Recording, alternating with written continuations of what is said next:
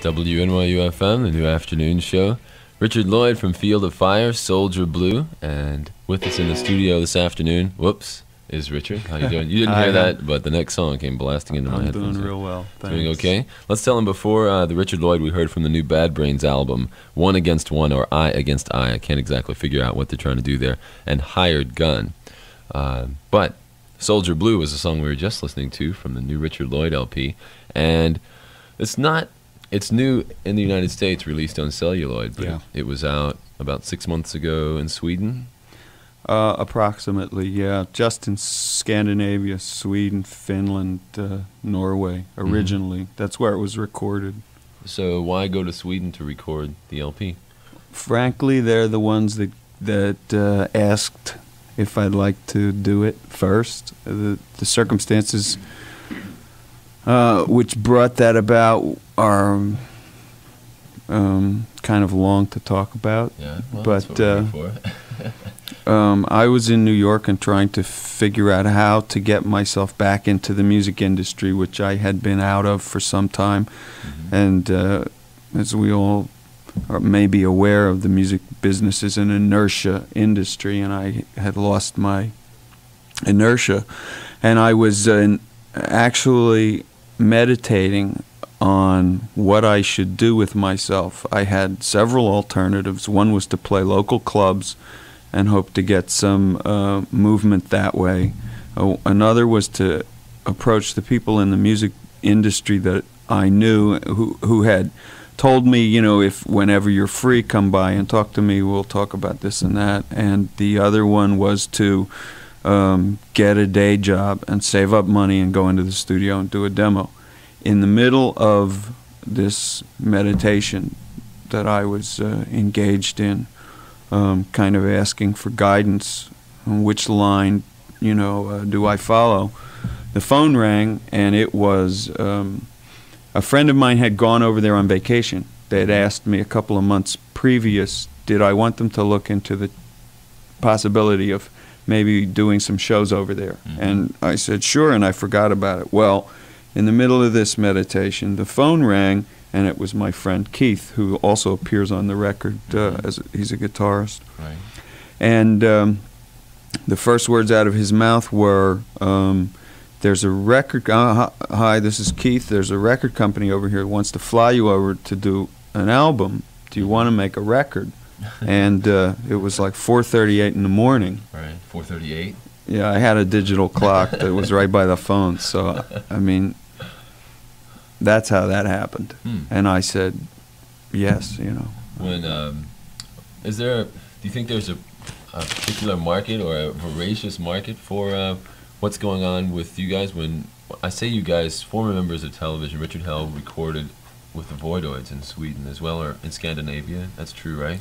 Was, would you say? Did he? Yeah. Oh. yeah, the Voidoids was recorded there, so that's nothing you know about, or it's something that they're interested in there, or Well, Scandinavia was a place that I had a strong um, following. Television was, you know, remarkably successful amongst v- with very young fans. Mhm. You know, sort of like the Bay City Rollers. The Scandinavian followers of the Bay City Rollers were kind of like the television fanatics, Wow. and they like, you know, their support is to this day. Like, you know, they come and, uh, you know, greet any one of us with like tears in their eyes. You Mhm. know that. Uh, I mean, it's really remarkable. Right. So it was also an area of the world in which I knew I could develop. Um, you know, I would have the support that I felt Mhm. was necessary to to like getting back on track. right. You know, and it was also out of the way enough because I don't think that there's you know um, there aren't enough places for people to rehearse in public anymore. You know, you come out and you've got the media bloom all over the Right. All over the place. And it, you're, if you're good, you're good, and if you're bad, you know, people are talking about it the next Mhm. day.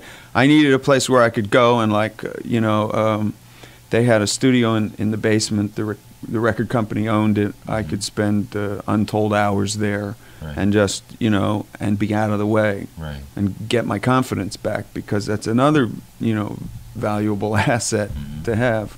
You say mention you mentioned getting your confidence back.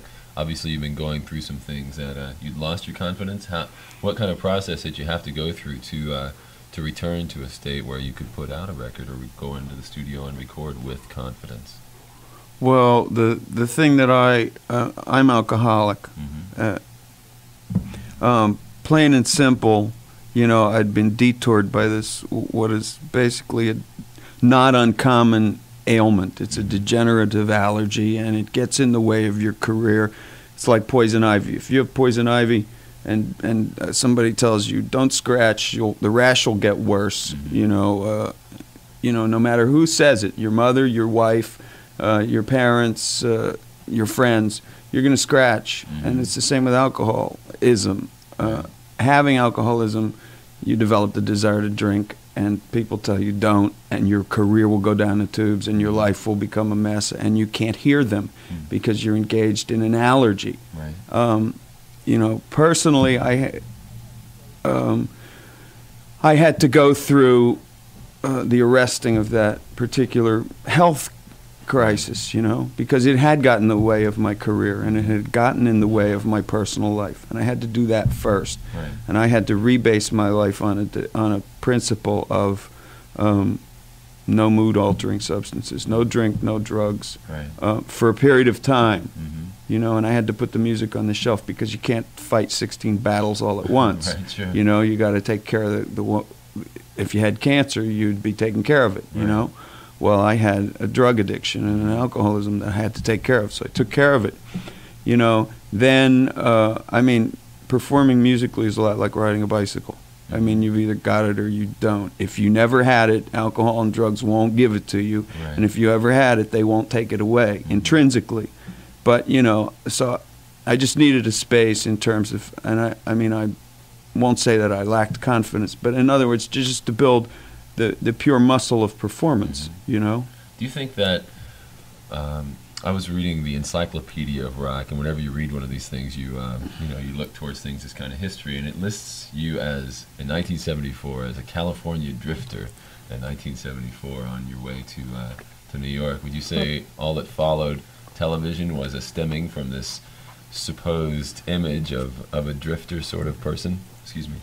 Uh, uh, first of all, I'm not from California. Okay. Clear that up. Second of all, I always wanted to be a drifter, but I never had the courage. you know? Right? Okay. I mean that that's the grand plan, isn't it? To you know ride the rails. Right, sure. but you know, uh, I know I never had the courage for that. That's a romantic nomenclature. Eh, precisely. Uh, rock journalist. Okay. The new LP, which is more important because that's what's happening now. You Yeah. produced it yourself. Uh, yeah. For what reasons? Well- not to bring in somebody from the outside. there were a couple. There were budget reasons. The company that brought me over there, although they're very, were very large in Scandinavia, were not. You didn't have the, f- you know, the wherewithal to bring in a top flight producer. Mm-hmm. Um, as it happened, I wanted the creative control. I had been burnt before. That was another reason that I didn't record for so long. Mm-hmm. Was that I had some very bad personal experiences with the machinations of business. You Mhm. know, sign, uh, people s- who you think are going to be good. You sign a paper. You find yourself in a studio with them. They're out of their minds, Right. and you can't do anything about it. You Mhm. know, I mean, it does happen, and it, it, I didn't want it to happen to me again. Um, so they uh, agreed to let me produce my own record. Hmm. As it happens, I got in there, and the, you know, the, it was uh, you can't be in two places at once. You Mhm. can't be performing and engineering and do all in, Right. doing all of this. Uh, so I nearly drowned in the process, and finally they had there was the in-house guy whose uh, name is Stefan Glaumann. I said, Stefan, you know, uh, you got to come in and help me finish this, and Mhm. you know, and we'll call it a co-production because I was just swamped with the, the responsibility. The. So, you know, so it's a real co-production in terms of, of the creative, um, you know, freedom which Right. I needed, plus the, you know, just the mixing expertise and, and just, you know, stuff like that. Let's check out another track. 'Kay. Listen to Lovin' Man.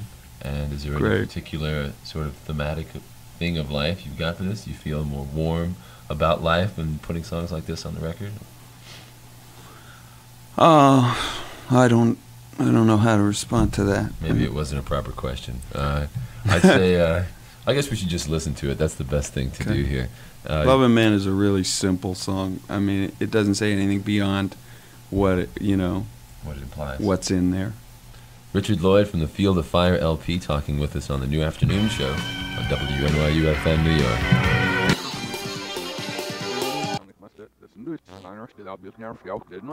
Or for whatever imports cost these days, can go out and get it for a much more American price, let's Yeah. say. And we're listening to Lovin' Man. Got the man in the studio with us this afternoon, Richard Lloyd, and um, you gonna be performing anytime soon? I know you've been playing around. We're at the Ritz this evening. That's right. T- With the God, Smithereens. Smithereens.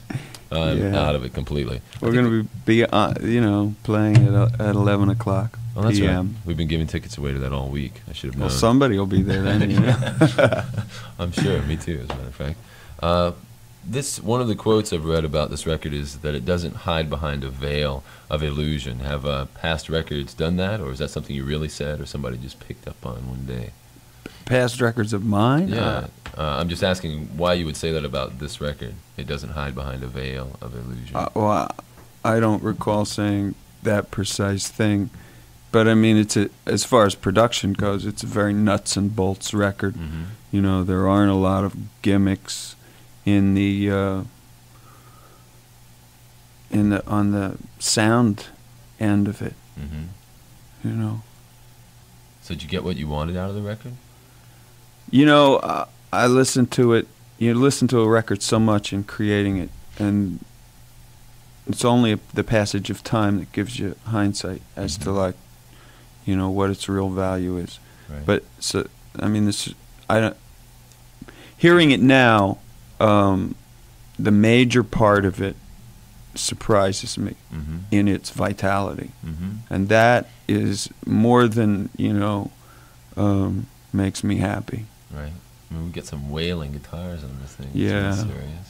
And I mean, enjoyable for those of us who are guitarists. I mean, there's something about about um, movement after stagnation. Hmm that this that that record, Field of Fire, really captures. For yourself personally. for myself personally you know um, i mean there's a desperation a need to to like um, and it's that it's not show offy hmm you know? It's just i mean it's uh, authentic drive. Hmm So, field of fire, would that be a metaphor for a burning that you have now, or it, not to be too. Uh, no lit- field of fire as a about metaphor is what hendrix and joplin didn't survive that that i did I see. Hmm, very good. Which is why the next track, Watch Yourself, would be uh, important. Well, thematically, I have a propensity to, to um, like danger. You Mhm. know, I want to discuss um, the seedier aspects of, of you know, um, grabbing the live wire, hmm so to speak. Now, would you say that this is part of you personally in your day to day life, or is this a presentation of a character? Well, let's put it this way: when they when when we f- had our first TV when I was a little kid, and they said, "Well, you know, uh, be very careful of the plug."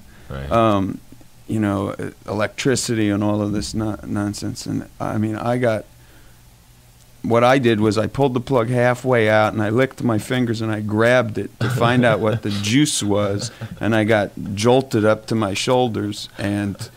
You know, well, that's what that's about. But I don't Right. go, you know, I don't go dashing in front of trucks for a thrill. Right. On a day-to-day basis, my day is pretty well organized into uh, disciplines regarding my own hmm self. I do singing lessons. I practice guitar. I, you know, do calisthenics for my forearm. Right. You know, really, do- your fretting arm, or I like uh, have this rubber donut that I've been squeezing to like you know strengthen my grip. really uh, for the fretting hand? Yeah, for the fretting hand. Wow. You know, but but what I'm talking about in, you know, uh, I guess is a natural proclivity that I have to investigate. You know, I don't think anything is forbidden. So when you're saying watch yourself, in this next I'm song. telling me and and whatever you know is I'm in contact with hmm that both better beware. I can dig it. You know, because uh, conflagration can come from from any source. You know, including spontaneous combustion is Right. a, a wonderful, wonderful one. Well, let's hope we don't both explode here on the new afternoon show with this wild track from Richard Lloyd's Field of Fire LP. Watch yourself on the new afternoon show. Yeah, So, uh, give me a couple of kind of health pills for yeah. my cold. fighting laryngitis. Silver seals, what Golden seal. golden seal, and those were Yeah. what what were what were in those things? You said it was a Golden seal. You Uh, look, you could look it up. It's Yeah. a plant. A plant. widely cultivated medicinal plant. really. And And as I was saying, George Washington grew it. There was a Golden Seal Society, you know, Really? advocating it. It's uh, um, kind of an internal cleanser. Mhm. An- it's slightly antibacterial, Hmm. and uh, it's great for you as in terms of a tonic to take once in a while. And if you have a cold, I mean, I had no voice this morning, and Mhm. I got up. I called my vocal teacher and Mhm. said, "What'll I do?" You know. Right. She told me a whole bunch of things, and that was one of them. So voice lessons now. You're doing this every day or a couple times a week, or how's that Uh, working? Well, I sing every day, but I take I take a lesson once a week. and what do you get from that lesson? Broke, a lot, lot less wealthy. Okay. You know, I get these tapes that then I take them home and I and I do it again and again and again. It's a lot of like, you know, it's physical exercises for the larynx. It's Mhm. opera type exercises. You Mhm. know, Hmm. So they, Mm. do you feel like they're helping you as a singer? yeah, most assu- most assuredly. hmm You know. In what sense, from an opera point of view, belting it out, so to speak? No, just uh, you know, not having having to fight my uh, throat to be on pitch. I mean, you know, I'm also fighting if any if there's a, ever been a criticism of me, it was I was I've always been well known as a guitar player, Mhm. but that you know my singing hasn't been up to snuff. Mhm. So to combat that, you know, um, I, I've been doing these other, you know, disciplines, Mhm. and taking vocal lessons is one of them. And I went to about, you know, six or seven different people before before I found somebody who, you know, the relationship is successful. Mhm. And I've been going to a woman named Katie Agresta for, Mhm. I guess, six or seven months, and it has made, uh, you know, miraculous differences in, in my own feeling about my singing. You know, Right. So would you take? Um, was it hard to find somebody who would take you seriously as a singer because you sing rock and roll, or when you say, or you just had to find somebody that you could work with? it's just a matter of chemistry. You Mhm. know, finding somebody with a method that didn't make you, f- you know, that that could keep the frustration level low. hmm You know, because I'm not a person who's renowned for my patience. Right. you know, and uh, just developing that kind of, you know, ongoing discipline. And talking about chemistry, what kind of band will we see tonight at the Ritz? I have a woman rhythm guitar player Mm. Named Donna Fisher who is new. We did we've done one show with her Mhm. so far. Um, my bass player's name is Steve Cohen, and my drummer's name is Julius uh, Clay Paz. And uh, it's a four-piece, two guitars, bass and drums. Right. No you know, keyboards, just straight no, ahead rock no keyboards. Uh, your cla- it's your classic, uh, streamlined, uh, you know, Rock and roll band. rock and roll tem- attempt to slice your head off, but not just with volume. Right. Know. We'll be there with uh, watching watching our scalps this evening at the Ritz with the Smithereens, All right. and it's Richard Lloyd. We've been listening to the new LP, of which we have five to give away. 212-598-3038 is the number to call. So uh, you give us a call. I believe Sherry will take your names as she's standing in the other studio, not listening to me, and uh, she'll write down uh, who's going to win. So five Field of Fire LPs. Richard, thanks a million for Thank coming you, in you. and talking with us this evening. And we look forward to the next record and the show this evening. Okay. Any last words for the uh, tri-state area? Well, just hope to see you. Okay. Thanks a lot. You've been listening to Richard Lloyd and Hugh on the new afternoon show. And this is the Blaster Opus, Field of Fire, Yeah. Yeah. Eight and a half minutes of pure fun. on WNYU FM, New York.